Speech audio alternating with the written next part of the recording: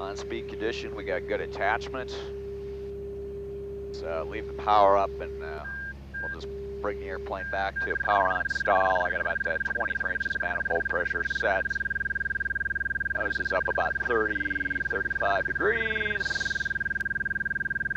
And there's our breakdown. Pretty good attachment outboard as we start to lose our longitudinal stability. Let's do another one of those.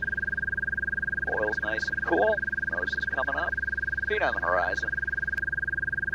Feet on the horizon. Good attachment. And ailerons stay nice and healthy. That's a good example of what's going on there. Let's do one more, power on stall.